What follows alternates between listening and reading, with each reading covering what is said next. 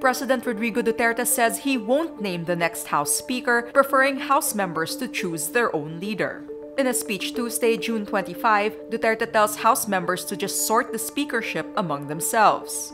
He says, quote, You discuss again, you take charge. The numbers now seem to be on the side of Marinduque Representative Lord Allan Velasco after four major blocs in the House forged an alliance to back his speakership bid.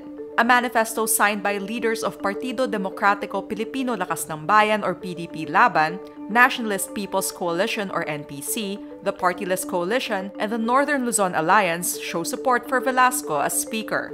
Pampanga 4th District Representative Juan Pablo Bondoc clarifies that while a majority of the four House blocs decided to support Velasco, the bloc leaders are not stopping them from choosing other speakership candidates. Despite the manifesto of support for Lord Allan Velasco, Leyte 1st District Representative elect Martin Romualdez calls himself a strong contender. His ally Albay 2nd District Representative Joey Salceda claims 178 lawmakers committed to vote for Romualdez. The six member coalition of the Makabayan Bloc also releases a statement endorsing Bayan Muna Representative Carlos Zarate for Speaker. They say it's time we have a speaker who is truly for the nation.